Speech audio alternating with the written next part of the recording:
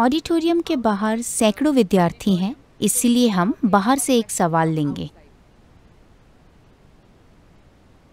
Hello sir, मेरा नाम मोहम्मद अकमल है और मैं जेएनयू का विद्यार्थी हूँ।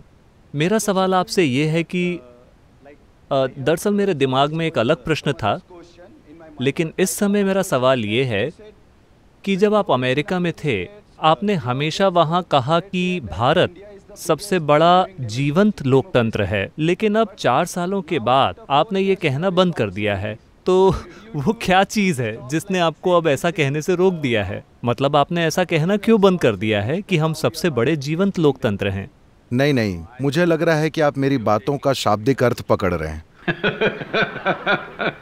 इन चार सालों के कारण नहीं बस मैं देख रहा हूँ कि हम भी अमेरिका की तरह होते जा रहे हैं। या तो हम रिपब्लिकन हैं या डेमोक्रेट। मेरे पिता एक रिपब्लिकन थे। मेरे दादा एक रिपब्लिकन थे, इसलिए मैं भी रिपब्लिकन हूँ, ऐसा एक रिपब्लिकन ने कहा।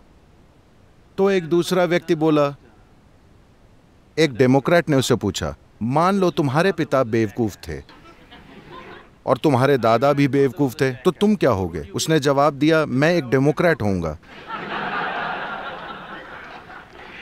So, तो अमेरिका दुर्भाग्य से पिछले कुछ दशकों में इस तरह से विभाजित रहा है।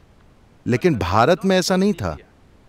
लेकिन अब मैं कहूँगा कि शायद पिछले दस सालों से ये इतना विकृत हो गया है हर व्यक्ति किसी दल से संबंधित है। ये लोकतंत्र का विनाश है। सभी को चुनाव के तीन महीने पहले not before. इस पर विचार करना चाहिए। तब आप ये देखना शुरू करें कि इन लोगों ने क्या किया। क्या उन्होंने राष्ट्र के लिए कुछ किया? क्या उन्होंने राष्ट्र के लिए कुछ नहीं किया? क्या उनको एक और मौका दें या दूसरा मौका ना दें? ये कुछ ऐसा है जिसे आपको चुनाव से ठीक पहले देखना चाहिए। पूरे पाँच साल नहीं, इसका कोई मतलब नहीं है। आपको अपनी बुद्धि से इसका अंदाज़ा लगाना चाहिए। आज तो जानकारी उपलब्ध है है ना? पर्याप्त जानकारी उपलब्ध है।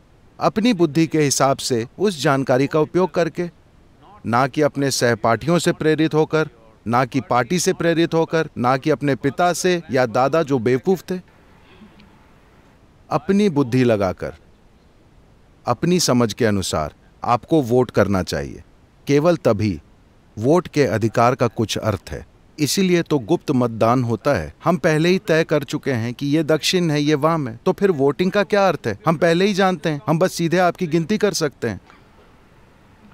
चुनाव की ये पूरी प्रक्रिया, इस धरती की सबसे बड़ी घटनाओं में से एक है, भारतीय चुनाव प्रक्रिया।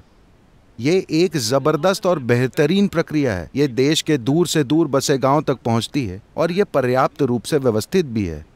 सारी आपाधाबी के बावजूद, ये बहुत अच्छी तरह व्यवस्थित है। तो फिर इस सारी व्यवस्था का क्या मतलब है? अगर पाँच साल पहले ही हम तय करके बैठे हों कि हम किसे वोट करेंगे, फिर तो इस पूरी प्रक्रिया का कोई मतलब ही नहीं है। गुप्त मतदान फिर क्यों रखा जाए? दरअसल इसके पीछे विचार ये है कि किसी को पता नहीं होना चाहिए कि आपने किसको वोट दिया है है ना? अगर आपको लोकतंत्र बनाए रखना है तो ये बहुत महत्वपूर्ण है।